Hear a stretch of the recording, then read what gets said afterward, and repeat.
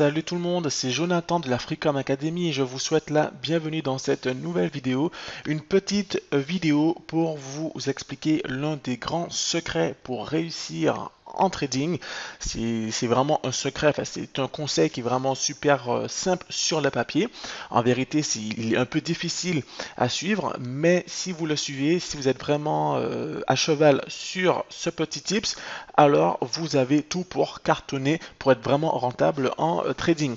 Alors juste avant de commencer cette vidéo, je vous rappelle que le programme complet ainsi que l'accès à notre groupe Telegram VIP est toujours disponible en rejoignant le groupe VIP, vous aurez accès aux meilleurs signaux et aux meilleures analyses du marché chaque semaine. C'est-à-dire que chaque semaine, je fais une vidéo où je fais une analyse complète des marchés et où je vous explique quelles seront les opportunités.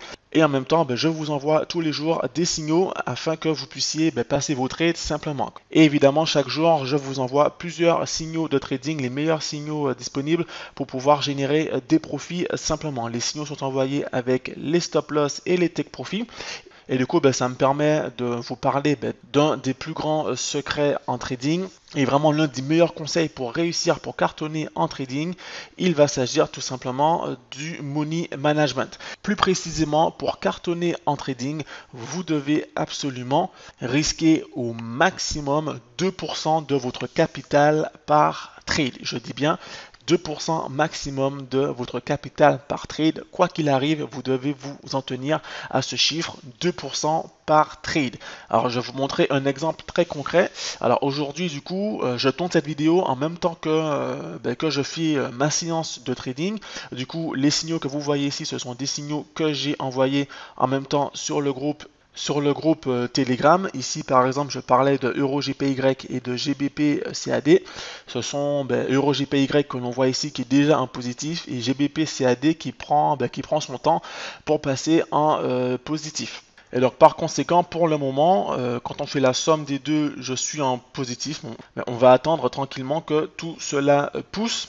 Et puis ensuite, j'avais euh, parlé à mes, aux membres du groupe VIP de l'US30, ok, et l'US30 qui a déjà atteint son take profit. Alors, je précise qu'ici, sur ce compte de trading, j'ai un capital global de 2000 euros.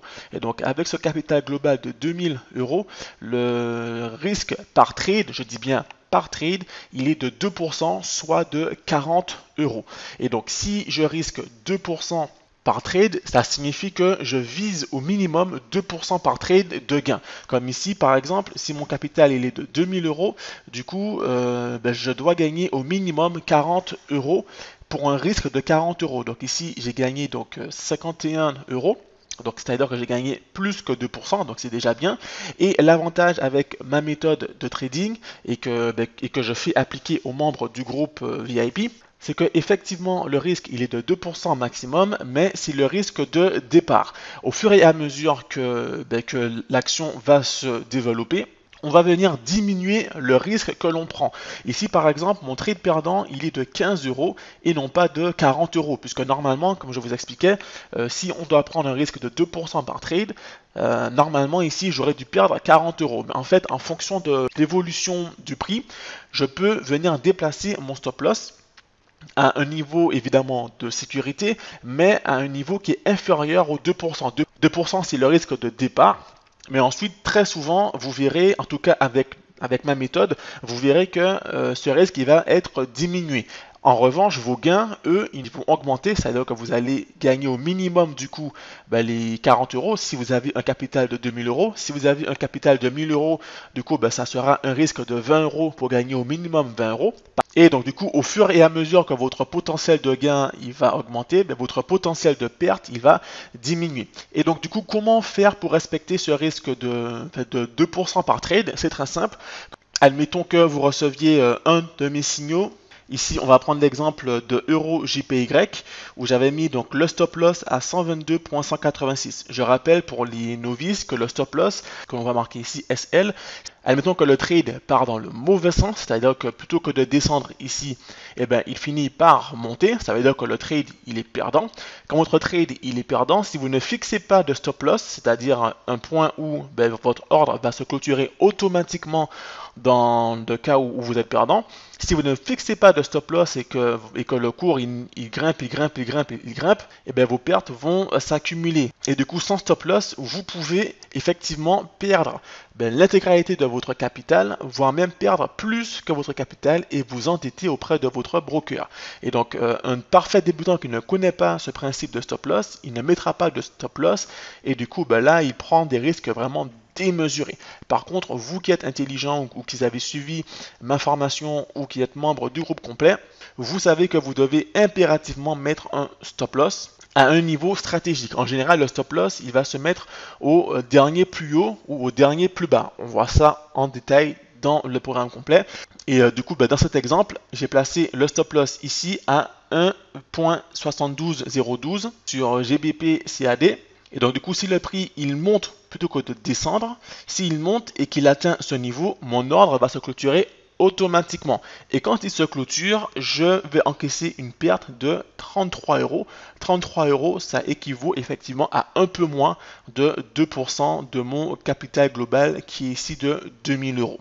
D'accord? Et euh, donc du coup, quand j'envoie un signal, donc ça je le dis pour les novices qui ne connaissent pas vraiment le concept de stop loss, quand j'envoie un signal, j'envoie le signal avec le stop loss et le take profit, vous devez faire en sorte que le stop loss soit équivalent à environ 2% de votre capital global. Donc si je fais un exemple ici, donc clic droit, nouvel ordre, voilà, ici vous voyez marqué stop. Donc en cliquant sur stop, donc juste ici, hein, je rappelle que je suis sur XTB, d'accord C'est le broker que j'utilise.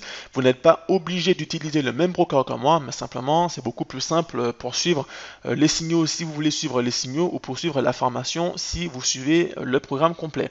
Donc euh, ici, vu qu'on veut se mettre en vente je clique ici sur vente et là vous voyez euh, le niveau ici auquel vous voulez que votre ordre s'arrête. Donc dans mon exemple, c'est 1,72012, admettons. Ok, ici limite c'est pour le take profit, ça veut dire que quand le cours, quand le cours il, part dans le bon sens, euh, c'est le niveau auquel vous voulez que votre ordre s'arrête en encaissant vos gains. Il faut que le take profit soit équivalent à environ 2% minimum de votre capital global et il faut surtout que votre euh, stop loss soit équivalent à 2% de votre, de votre capital global. Ici par exemple, je suis à 7 euros, moins 7 euros, c'est trop peu.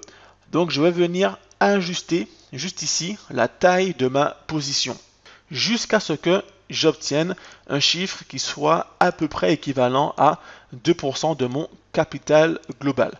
Voilà, donc ici avec 0,10 lots sur mon compte XTB avec effet de levier de 1 pour 30, avec 0,10 euh, lots du coup, j'obtiens un stop loss qui est bien positionné et qui a un risque d'environ 2%. On voit ici marqué moins 1,79%. Donc effectivement, je suis dans mon ratio hein, de entre 1 à 2% de risque global par trade.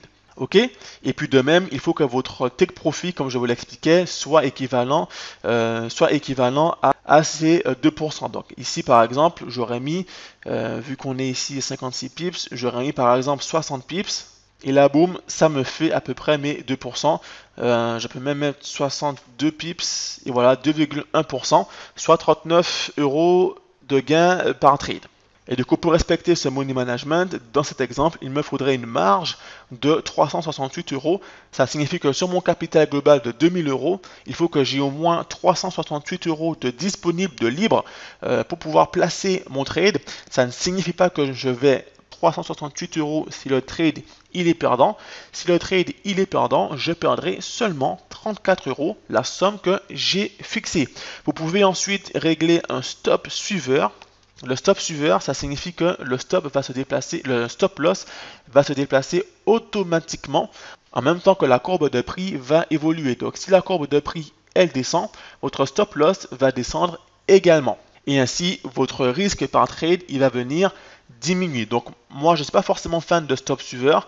Euh, j'aime bien déplacer mon stop, mais manuellement à un niveau stratégique, c'est-à-dire au dernier plus bas connu. Donc pour ce qui est des plus hauts et des plus bas, j'explique ça dans le groupe Telegram. C'est aussi très important à comprendre pour, bien placer ses stop loss, puisque le stop loss ne doit être placé n'importe comment, il faut absolument qu'il soit placé au niveau du dernier plus bas ou, du dernier plus haut connu. C'est capital pour, ne pas vous faire éjecter du trade inutilement. Voilà, donc retenez bien ce conseil, votre stop loss doit toujours, toujours, toujours être équivalent à 2% de votre capital global. Et du coup, pour ce risque de 2% de votre capital global, ben, vous allez viser du coup 2% de gain minimum par rapport au risque que vous avez pris. C'est très très important de respecter ce money management.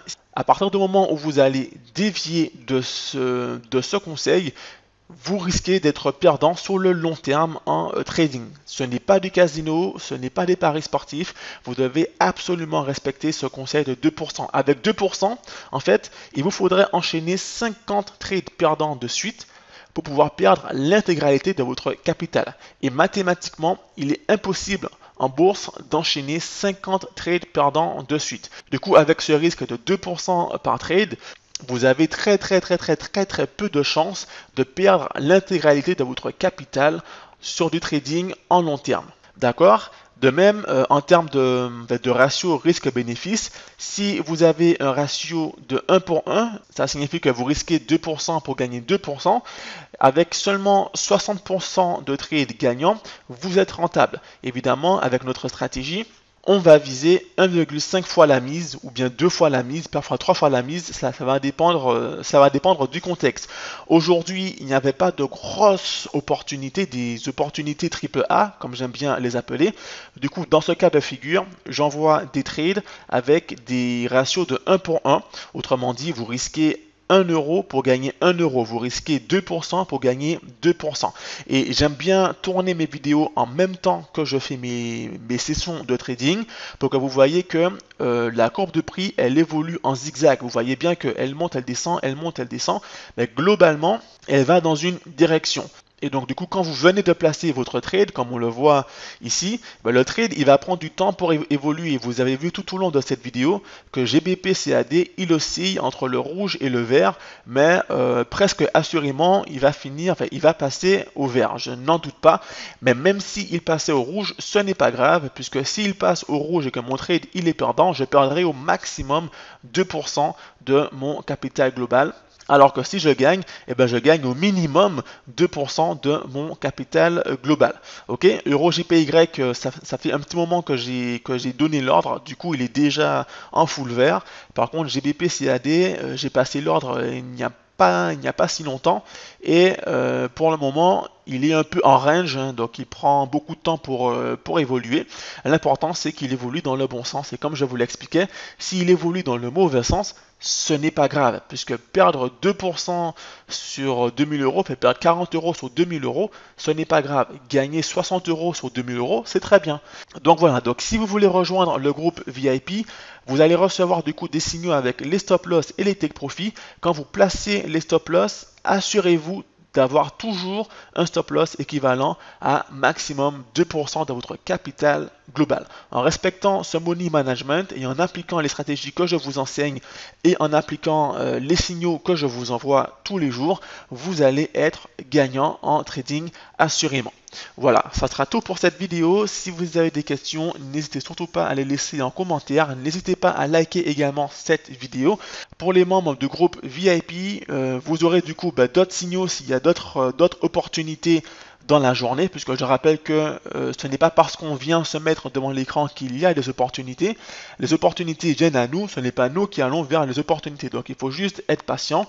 pour le moment, j'ai envoyé du coup bah, trois signaux un qui a déjà atteint son take profit et puis les deux autres qui sont, euh, qui sont en cours de route. Je rappelle également que cette semaine, c'était la semaine des élections présidentielles américaines et que du coup, ben, les, ben, les, marchés étaient vraiment euh, en émoi. Tantôt ça monte, tantôt ça descend, des fois ça reste en range quand on ne sait pas trop euh, où est-ce qu'on va.